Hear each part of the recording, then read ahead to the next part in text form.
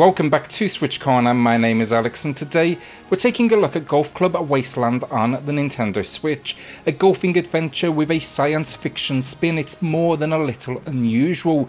But I'm going to say it now, do not let the golf in the name put you off, it's absolutely no simulation or true sports experience. So with that, hit subscribe if you love the Switch, as much as we will do here, join our growing family, and let's get started.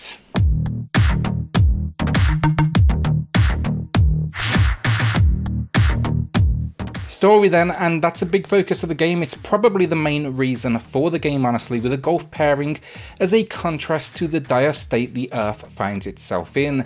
The idea, though, in this future, the world has all but been abandoned following a climate disaster, and we get a few different viewpoints to detail the past, present, and future. Think the golfer on his trip, you know, those that are higher up in society using Earth's disaster as a spin on a golf trip. A radio show that's designed for those that escaped Earth and basically broadcast to Mars's population, and then a secret spectator that you'll catch a glimpse of here every so often. These story moments, though, they will have you questioning what is the truth. You know, the radio host may be saying one thing, but do the visuals, what we are seeing, does it back this up? There's just a lot to uncover, and it even has a great little sense of humour to kind of reinforce the explanations, even if I will say in its delivery, at times it can be a little heavy handed.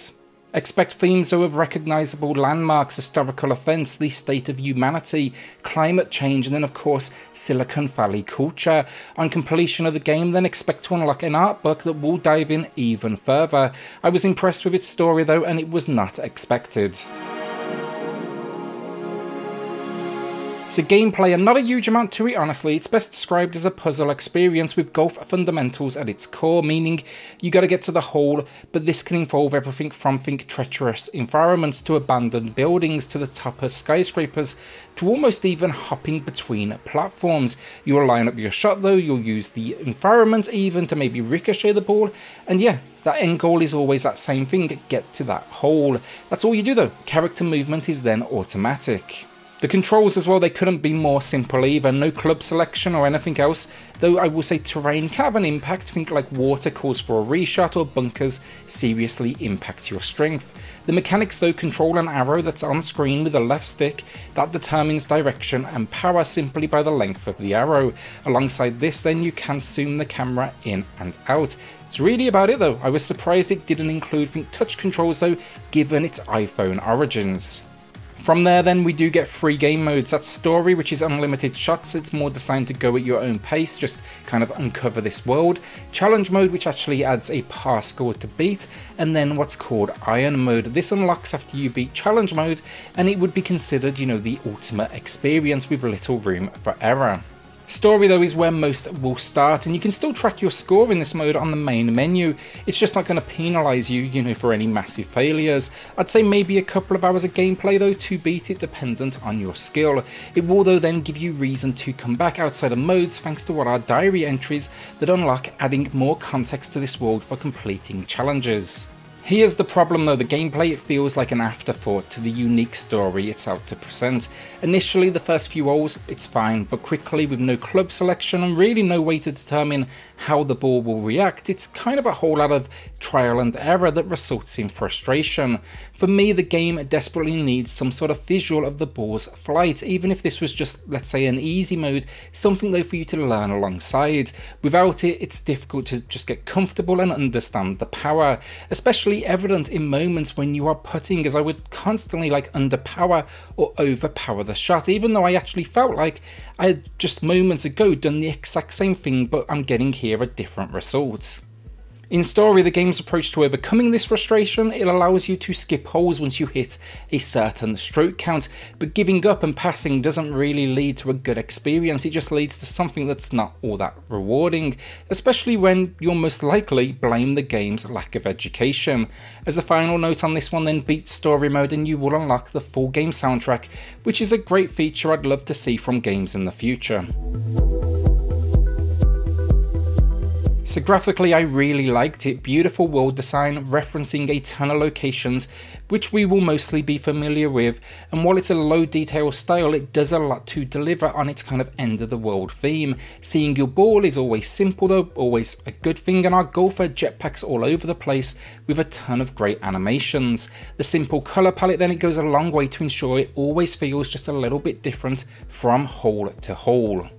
Issues wise, the only one, the harder the hole gets, the more obstacles they do play a part. Often I couldn't tell what was in the foreground or background, meaning on more than a few occasions, I thought I would bounce off something, I didn't. Likewise, I didn't think I would bounce off something, and I did. A nice touch they could have added here which would have really helped out the game, a quick option to retake your last shot, it would have gone a long way as well to correcting this issue. Audio finally, and that is the highlight of the game. The radio narration that tells much of the story is just an exceptional piece of work, from the dialogue of the host to the incredibly crafted music that's designed to remind those on Mars of Earth. It's all delivered pitch perfectly, allowing for something that feels realistic, but with a ton of humour that always landed. This carries the game honestly, because through all the moments of the controls frustrating me, I always wanted to hear what would be said or played next adding some like minor sound effects then to kind of wrap up the audio package. So the final verdict, and this is a really curious little game. The good, the story, the visuals, the audio all combine to create a fantastic delivery. It hooks me, it'll hook you, and you'll want to know more. Sure, it can be a little heavy-handed with its opinions, but that's a rare miss honestly, with it landing I'd say 90% of the time. The problem though, the gameplay, it's just lackluster and simply undercooked with little explanation of the mechanics or really any way to learn so it devolves quickly into frustration and trial and error.